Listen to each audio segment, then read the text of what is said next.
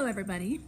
By now you have learned a little bit about a famous artist, Wayne Thiebaud, and hopefully you have realized and understand that one of the things that he is most famous for painting is things that you eat.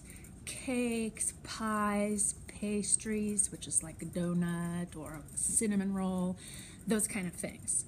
So you might have guessed by now that your next project is going to be a painting in the style of Wayne Thiebaud and we are going to be creating a picture with cupcakes. Yum, yum.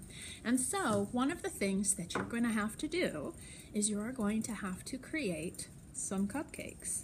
We're going to be making a still life, which is a picture of things that are not alive, set in some sort of arrangement. And you're going to have three cupcakes. And not only are you going to be making cupcakes in the style of Wayne Thiebaud, but you're going to be learning and showing the element of space, which means you're going to have one of your cupcakes in the background, far away, one of your cupcakes in the foreground, close up, and of course, one of your cupcakes in the middle ground, which is in the middle. And so, to do this, you are going to have to draw three different size cupcakes one large, one medium, one small, because things that are far away need to be small, things that are up close need to be large, and of course, things that are in the middle are going to be medium. So pay attention, and I'm going to show you how to get started making just this part, the cup of your cupcake. We're going to do it three times, three different sizes.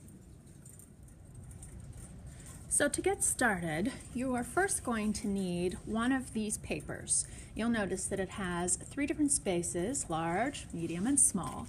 These will be located somewhere in the room. You can ask Mrs. Gray to locate one for you. And you'll take this back to your scene. Of course, you'll also need a pencil, maybe an eraser. And the first thing I want you to do is put your name on this paper, probably over here. Okay, so since we need a large cupcake, a medium cupcake, and a small cupcake, and I want you to make sure that you have these the right size to fit on our background, I have given you the spaces that you need to fill. And so we're gonna be drawing just this part of our cupcake, the cup part. And as you can see, it's not exactly a rectangle. It's a little bit wider here at the top and a little bit narrower down at the bottom.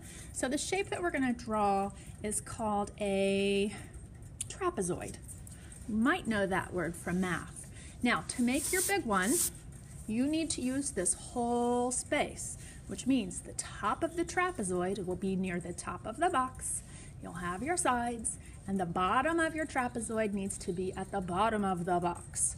Do not make a teeny little, little trapezoid right here because you need to fill the space. So you're gonna start with the top of the trapezoid, which is gonna be a horizontal line near the top of your space.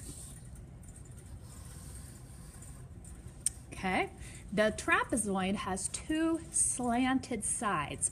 Not super slanted, we're not drawing an ice cream cone, although Wayne Thiebaud did draw ice cream cones sometimes. We want ours to be sort of slanted. As you can see on this one, it's just sort of slanted there on the sides. We want them to be the same because this should be a symmetrical shape, which means the left side is the same as the right side. So something like this. You do want it to go almost all the way to the bottom because we want to fill this space. That's very important.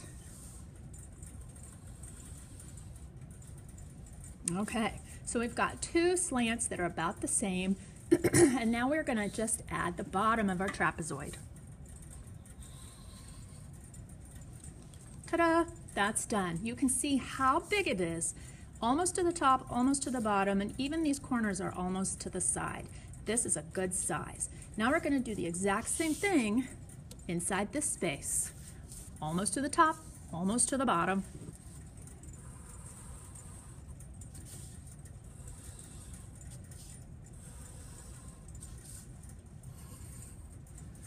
There we go. And you guessed it, same thing in the smallest box.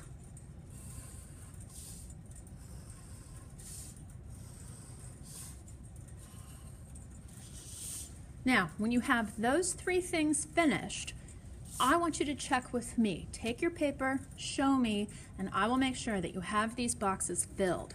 If they're too small, you can guess. I'm going to send you back, erase it, make it bigger.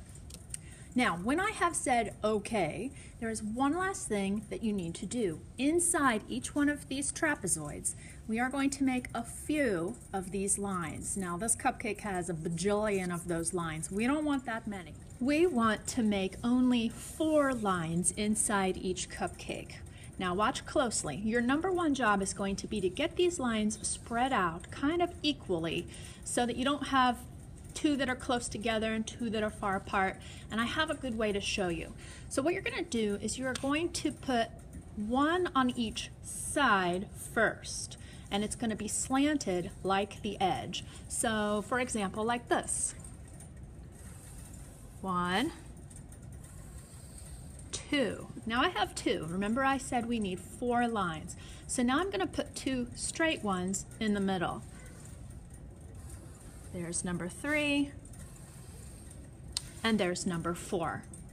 Excellent. Now we'll do the same thing over here. Outsides first. One, two. They slant just like the outer edge. And now two more in the middle, straight. Number three and number four. Perfect. Last one. One, two, three, four. Make sure all of your lines are spread out kind of equally. They should never be touching, even at the bottom on that small one when it's starting to get a little crowded. They should always be on their own, not touching each other. Very good.